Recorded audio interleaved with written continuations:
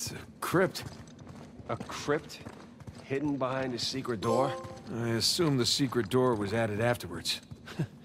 To hide his loot.